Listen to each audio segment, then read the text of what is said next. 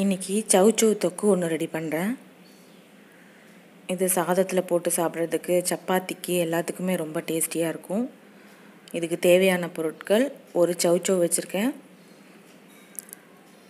நாலு பெரிய வெங்காயம் மூணு தக்காளி ஒரு டீஸ்பூன் அளவுக்கு பெருஞ்சீரகம் ஒரு டீஸ்பூன் ஜீரகம் ஒரு டீஸ்பூன் மிளகு மூணு டீஸ்பூன் மிளகாத்தூள் மூணு டீஸ்பூன் தனியாத்தூள் அரை டீஸ்பூன் மஞ்சள் தூள்.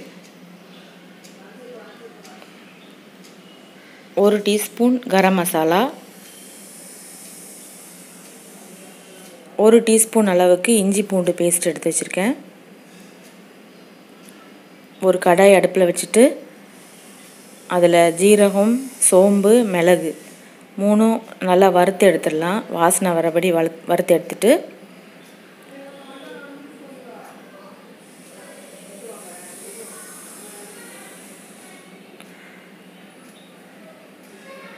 எடுத்துடலாம் எடுத்துட்டு மிக்சியில் நல்லா பவுடர் பண்ணிக்கணும். நான் பவுடர் பண்ணி எடுத்துகிட்டு வந்துட்டேன். இப்போ ஒரு கடாயில் நாலு டீஸ்பூன் அளவுக்கு எண்ணெய் ஊற்றிட்டு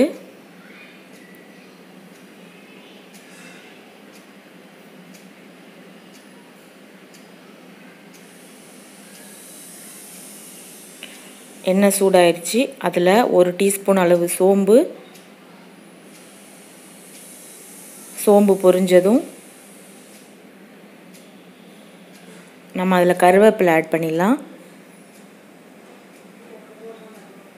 அப்புறமா எடுத்து வச்சுருக்கிற நாலு வெங்காயம் அதில் சேர்த்து நல்லா வதக்கி விட்டுறணும்.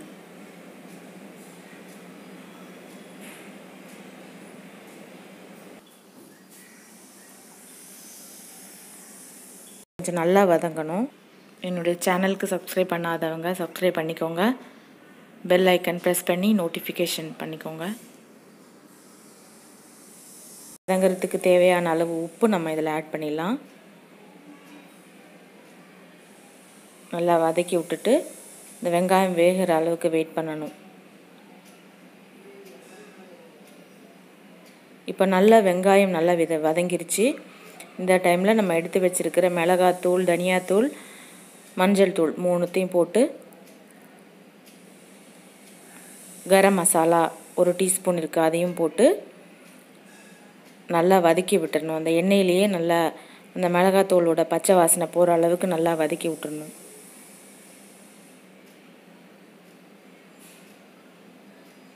இப்போ நல்லா வதங்கிருச்சு. இப்போ நம்ம தக்காளி போட்டுடலாம். தக்காளி போட்டுட்டு ஒரு டீஸ்பூன் அளவுக்கு இஞ்சி பூண்டு பேஸ்ட்டு போட்டுடலாம்.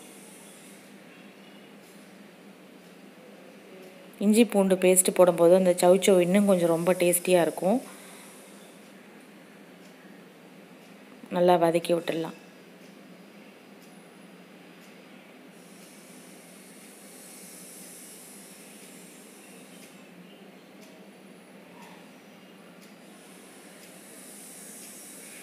நல்லா வதக்கி விட்டாச்சு.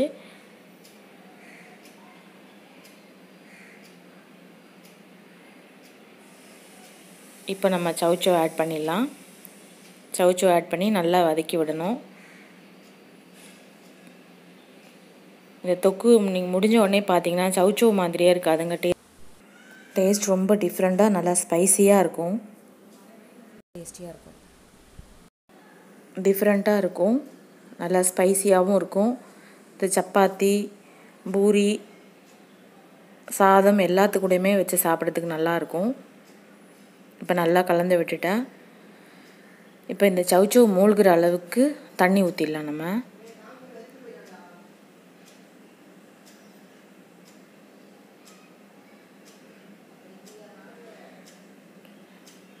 இப்போ இந்த கிரேவிக்கு தேவையான உப்பை நம்ம இதில் போட்டுடலாம். போட்டு கலந்து விட்டுட்டு ஒரு மூடி போட்டு இந்த சவுச்சோ வேகிற அளவுக்கு கிட்டத்தட்ட ஒரு எட்டு ஒம்பது நிமிஷம் நல்லா வேக வச்சிடணும்.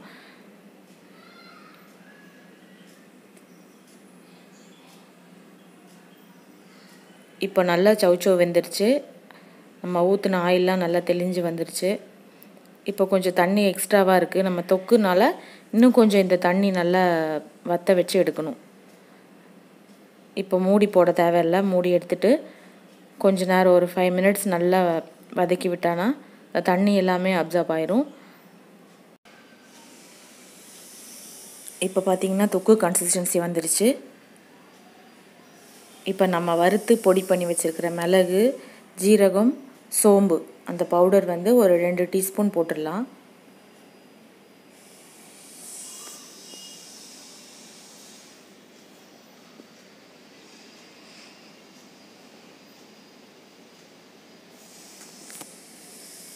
போட்டு நல்லா கலந்து விட்டுடலாம்.